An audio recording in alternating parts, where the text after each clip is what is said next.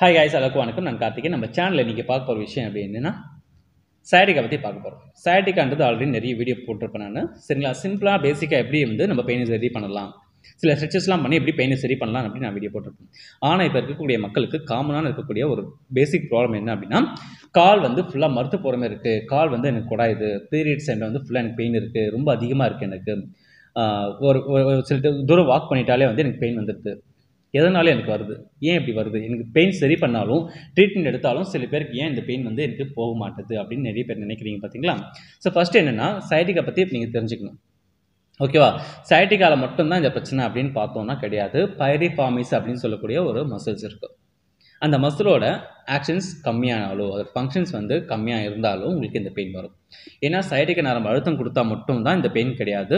சைட்டிக்கா சுற்றி இருக்க nerves muscles எல்லாமே வந்து ஒழுங்காக ஃபங்க்ஷன் பண்ணதுனாலும் இந்த பிரச்சனை வர வாய்ப்பு இருக்குது ஸோ கால் ஃபுல்லாக எனக்கு வலி இருக்குது அப்படின்னா ஃபஸ்ட்டு பேக் பெயின் உங்களுக்கு எத்தனை நாளாக இருக்குது பேக் பெயின் சில பேருக்கு இல்லாமல் கூட கால் மறுத்து போகிறது இருக்கலாம் பட்டக் பெயின் இருக்கலாம் ஹாம்ஸ்ட்ரிங் மசில் பெயின் இருக்கலாம்.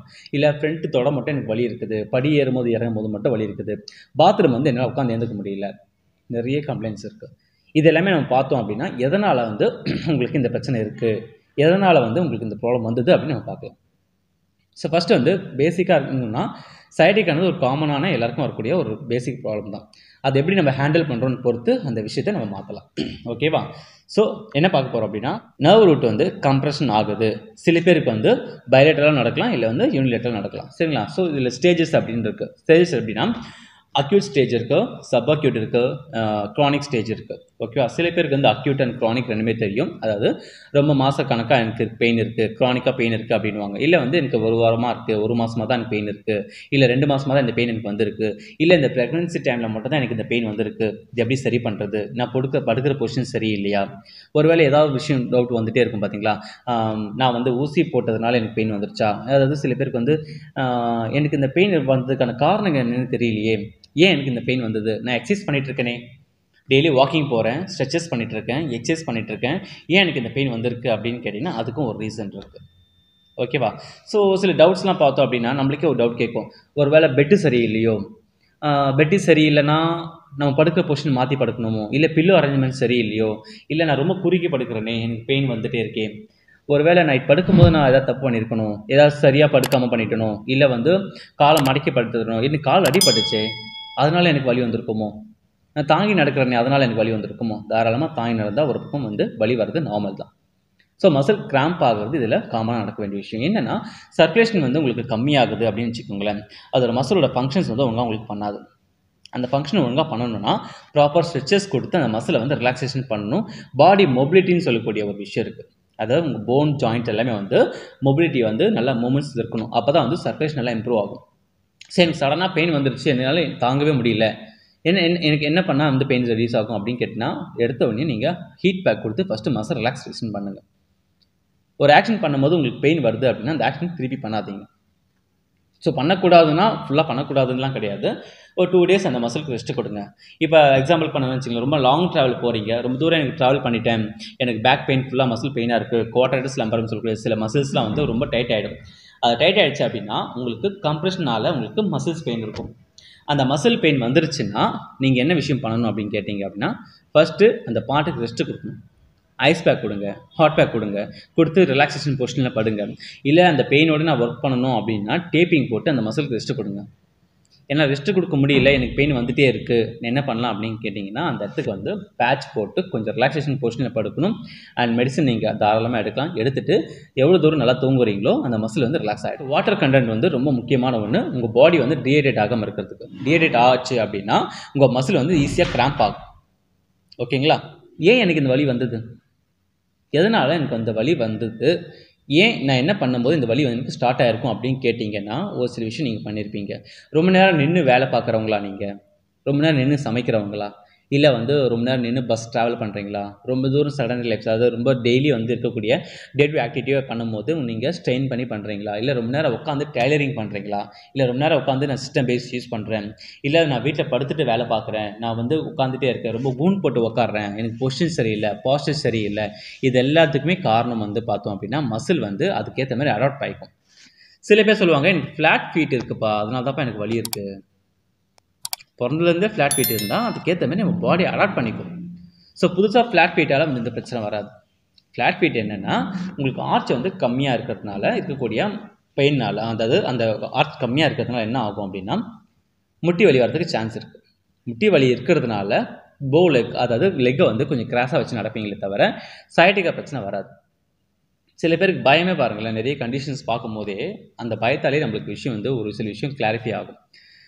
ஒருத்தவங்க வந்தாங்க சைட்டிக்கா பிரச்சனை எனக்கு இருக்குப்பா எனக்கு ட்ராக்ஷன் போடணும் எனக்கு ஸ்ட்ரெச்சஸ்லாம் பண்ணணும் அப்படின்னு கேட்டிங்கன்னா நீங்கள் என்ன வேலை பார்க்குறீங்க? அப்படின்னு கேட்டேன்னா நான் வேலைலாம் பார்க்கலப்பா சும்மா தான் இருக்கேன் வீட்டில் சும்மா தான் படுத்துகிட்டே இருப்பேன். ஸோ படுத்துகிட்டே இருக்கிறதுனால என்ன பிரச்சனை அப்படின்னு பார்த்தோம்னா மசில் வந்து வேஸ்டேஜ் ஆகிருக்கு சரிங்களா? மேபி அவருக்கு செவன்ட்டி ப்ளஸ் இருக்கலாம். வீட்டில் படுத்துகிட்டே இருக்கிறதுனால என்ன ஆகும் அப்படின்னா ஜென்ரல் ஆக்டிவிட்டி இல்லை அவங்களுக்கு. எழுந்து உட்காரதோ இல்லை வந்து மூவ் பண்ணுறதோ நடக்கிறதோ எதுவுமே இல்லாதனால என்ன ஆகுதுன்னா மசில் வேஸ்டேஜ் ஆகிட்டு piriformis muscle butter glute muscles எல்லாமே வந்து வேஸ்டேஜ் ஆகிறதுனாலையும் இந்த பெயின் வரலாம். ஸோ நீங்கள் என்ன பண்ணணும்னா அந்த மசிலை வந்து ஸ்ட்ரென்த்தனாக வச்சுக்கணும் ஸ்ட்ரெச்சஸ் பண்ணி ரிலாக்ஸேஷனாக வச்சுக்கணும் பாடி பெயின் வராமல் இருக்கிறதுக்கு நீங்கள் ஜென்ரலாக ஒரு மொபிலிட்டி எக்ஸசைஸ் நீங்கள் பண்ண வேண்டியிருக்கும் ஓகேவா நான் எக்ஸசைஸ் பண்ணாலும் எனக்கு பெயின் வருது அப்படின்னு காரணம் பார்த்தோம் அப்படின்னா நீங்கள் எதாவது விஷயம் தப்பாக பண்ணியிருப்பீங்க இல்லை அந்த மசிலுக்கு ரெக்கவரி பீரியட் அப்படின்னு சொல்லக்கூடிய ஒரு மசில் ரிலாக்ஸேஷன் கொடுத்துருக்க மாட்டீங்க. அதனால இந்த பெயின் வரலாம். சரிங்களா? ஸோ எந்தெந்த ஒர்க்குக்கு ஒர்க் பண்ணுறவங்களும் இந்த பெயின் வரலாம் அப்படின்னு பார்த்தோம் அப்படின்னா வெயிட் லிஃப்ட் பண்ணி பண்ணுற எல்லா ஒர்க்கருக்குமே இந்த பிரச்சனை கண்டிப்பாக வரும். அயன் வேலை பார்க்குறவங்களுக்கு இல்லை வந்து வெயிட் லிஃப்ட் அதாவது வெயிட்டை வந்து தூக்குறவங்களுக்கு போர்ட்டருக்கு இந்த லக்கேஜ்லாம் தூக்குவாங்க பார்த்தீங்களா? அவங்களுக்கு சில பேர் வந்து ரொம்ப நேரம் நின்று வேலை பார்ப்பாங்க. அதாவது எக்ஸ்ரே டிபார்ட்மெண்ட்டில் இருக்கவங்களுக்கு வேற என்ன ஒர்க்கு கன்ஸ்ட்ரக்ஷன் ஒர்க் பண்ணுறவங்களுக்கு இல்லை வந்து நின்று சமைக்கிறவங்களுக்கு சில பேர் வந்து என்ன பிரச்சனை அப்படின்னா வேலை பார்ப்பாங்க. அந்த இடத்துல வந்து ரிலாக்ஸேஷன் அப்படின்னு சொல்லக்கூடிய ஒரு விஷயம் பண்ணுவாங்க. ஏன்னா கொஞ்ச நேரம் உட்காந்துக்கலாம் கொஞ்ச நேரம் நின்றுக்கலாம் அப்படின்னு ட்ரெஸ் கடையில் வேலை பார்க்குறவங்களுக்கு அந்த சாப்பாடு கடையில் வேலை பார்க்குறாங்களா அவங்களுக்கு கேண்டீனில் ஒர்க் பண்ணுறவங்களுக்கு சர்வர்ஸ்க்கு இவங்களுக்குலாம் வந்து நிறையா வந்து இந்த பிரச்சனை வரும். ஆனால் அந்த ஒர்க் பார்த்துட்டே இருக்கிறதுனால மசில் கிராம்ப் ஆகிட்டு சில பேர் பெயினோட வேலை பார்ப்பாங்க. சில பேர் வந்து பெயின் ரிலாக்ஸேஷன் பண்ணுறதுக்கு மெடிசன் எடுத்து பண்ணுவாங்க. முடிஞ்ச அளவு மெடிசின்ஸ் கொஞ்சம் அவாய்ட் பண்ணிவிட்டு உங்கள் பாடியை ஹெல்த்தியாக வச்சுக்க என்ன விஷயம் பண்ணுங்கள் ஒரு ரிப்பீட்டாக ஒர்க் ஒர்க் பண்ணுறீங்க அப்படின்னா அந்த ஒர்க்கை வந்து ரிப்பீட்டாக பண்ண போகிறேன்னு தெரிஞ்சிட்டாலே அந்த மசிலை ஸ்ட்ரென்தன் பண்ணுறதுக்கோ உங்கள் பாடி ஜென்ரலாக ஃபிட்டாக வச்சுக்கிறதுக்கு என்ன விஷயம் பாருங்கள் ஓகேவா ஸோ நெக்ஸ்ட் என்ன பார்க்க போகிறோம் அப்படின்னா சயட்டிக்கா வந்து எனக்கு வந்துருச்சு. சரி என்ன பண்ணலாம்ப்பா நான்? என்ன பண்ண எனக்கு பெயின் சரியாகும் அப்படின்னு கேட்டிங்கன்னா டுவெண்ட்டி செகண்ட்ஸ் ஹோல்ட் பண்ணி ஒரு ஸ்ட்ரெச்சஸ் பண்ண வேண்டியிருக்கும். அட்லீஸ்ட் பர் டேக்கு வந்து டுவெண்ட்டி செகண்ட்ஸ் நீங்கள் பண்ணீங்க அப்படின்னாலே அந்த பெயின் ஃபுல்லாக ரெடியூஸ் ஆகிறதுக்கு நிறைய சான்சஸ் இருக்குது சில பேருக்கு ஸ்ட்ரெச் பண்ணால் பெயின் வரும். எதனால் அப்படின்னு கேட்டிங்க அப்படின்னா மசில் வந்து இம்பேலன்ஸாக இருக்கிறது அது. அதாவது ஒரு பக்கம் டைட்டாகவும் ஒரு பக்கம் லூஸாகவும் இருக்கும். ஸோ இம்பேலன்ஸாக இருக்கிறதுனாலே உங்களுக்கு இந்த பெயின் வரலாம். நீங்கள் பண்ணக்கூடிய ஒரு சின்ன விஷயம் என்னென்னா பொசிஷன் ஹவு டு ஸ்லீப் அப்படின்னு சொல்லக்கூடிய ஒரு வீடியோ நான் ஆல்ரெடி போட்டிருப்பேன் அந்த விஷயம் பாருங்கள் ஸ்பெசிஃபிக்காக வந்து சிக்ஸ் எக்ஸசைசஸ் சரிங்களா? அந்த ஆறு எக்ஸசைஸ் பண்ணீங்க அப்படின்னா எந்த அளவு க்ரானிக்காக இருக்கோ சில பேருக்கு வந்து பயலேட்டலாக இருக்கும். சில பேருக்கு வந்து ஒரு சைடு மட்டும் பெயின் இருக்கும் இன்னொரு சைடு பெயின் இருக்காது. ஒரு சில பேருக்கு ரெண்டு சைடும் மாற்றி மாற்றி வரும். அதாவது ஆல்டர்னேட்டிவ் ஸ்டேஜில் சொல்லுவோம். ஒரு பக்கம் வந்து லெஃப்ட் சைடு பெயின் இருக்குது அப்படின்னா கொஞ்ச நேரம் கழிச்சு ரைட் ஹேண்ட் சைடு பெயின் வரும் லெஃப்ட் ஹேண்ட் சைடு பெயின் வராது. இதெல்லாம் ரொம்ப ரேர் கண்டிஷன்ஸ் ஸோ இதெல்லாம் என்ன பண்ணணும் அப்படின்னா ரொம்ப க்ரானிக்காக இருக்குது எனக்கு வருஷக்கணக்காக இருக்குது என்ன பண்ணலாம் அப்படின்னு கேட்டிங்கன்னா ஒரு ஆறே ஆறு எக்ஸசைஸ் ரொம்ப ஸ்பெசிஃபிக்காக சேஃபாக பண்ணக்கூடிய சில எக்ஸசைஸ் வந்து நோட் பண்ணியிருக்கேன். அதை நெக்ஸ்ட் வீடியோவில் வந்து உங்களுக்கு நான் கொடுக்குறேன். அது என்னோட சேனலை சப்ஸ்கிரைப் பண்ணிக்கோங்க. நெக்ஸ்ட் அந்த வீடியோ வரதை நீங்கள் கன்ஃபார்ம் பார்க்கலாம். அந்த எக்ஸசைஸ் நீங்கள் பண்ணிட்டாலே உங்களுக்கு ரொம்ப ரொம்ப ஈஸியாக இருக்கும். அண்ட் இந்த பெயின் வந்து எதனால் வந்ததோ இல்லை இந்த காரணத்தால் வந்தது அதேமாரி பைரிஃபாமிஸ் மசில் அப்படின்னு சொன்னால் பார்த்தீங்களா அதுக்கான ஸ்ட்ரெச்சஸும் வந்து அந்த வெளியில் சொல்லியிருப்பேன். ஸோ எக்ஸசைஸ் பார்ட் வந்து ரொம்ப ரொம்ப முக்கியமான ஒன்று சயாட்டிக்கா பெயின்காக ஸோ நீங்கள் எல்லா ஒர்க்குமே பண்ணலாம். சில நேரத்தில் நான் ரெஸ்ட் எடுக்கணுமான்னு கேட்டிங்க அப்படின்னா எக்ஸசைஸ் பண்ணும்போது நீங்கள் ரெஸ்ட் எடுக்கணும் அவசியம் இல்லை. தாராளமாக நீங்கள் ஒர்க்கும் பண்ணலாம். ஓகேவா ஸோ உங்கள் லைஃப் ஸ்டைலை கொஞ்சம் சேஞ்ச் பண்ணுறதுக்கு என்ன வழின்னு பாருங்கள் லைஃப் ஸ்டைல் சேஞ்ச் பண்ண முடியல அப்படின்னா நான் சொல்லித்தர எக்ஸசைஸை நீங்கள் ஃபாலோ பண்ணினாலே உங்களுக்கு அந்த பெயின் ரெடியூஸ் ஆகிறதுக்கு முழு இது இருக்குது ஸோ ஹண்ட்ரட் பர்சன்ட் சரியாகிறதுக்கு நிறைய சான்ஸ் இருக்குது நம்ம எந்த வழியில் ட்ராவல் பண்ணுறோன்னு பொறுத்து.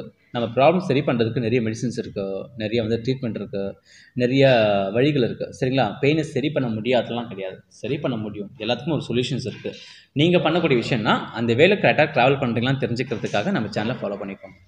ஓகே ஸோ ஹாப்பியாக இருங்க ஹெல்த்தியாக இருங்க ஏதாவது டவுட்னா கமெண்ட் பண்ணுங்கள் இந்த சேனல் பிடிச்சிருந்தா லைக் பண்ணுங்கள் யாருக்கெல்லாம் யூஸ்ஃபுல்லாக இருக்குன்னு எனக்கு ஷேர் பண்ணுங்கள் ஸோ நீங்கள் கமெண்ட் பண்ணிங்கன்னா இதுக்கான நெக்ஸ்ட் வீடியோ போடுவோம் பார்த்தீங்களா அதுக்கான ஆன்சரும் வந்து அதே வீடியோவில் வந்து உங்களுக்கு கொடுக்குறேன். ஸோ இந்த வீடியோ கீழே வரக்கூடிய எல்லா கமெண்ட்டுக்கும் ஆன்சர் வந்து நெக்ஸ்ட் வீடியோவில் வந்து உங்களுக்கு கிடைக்கும். ஸோ ஹாப்பியாக இருங்க ஹெல்த்தியாக இருங்க. பாய்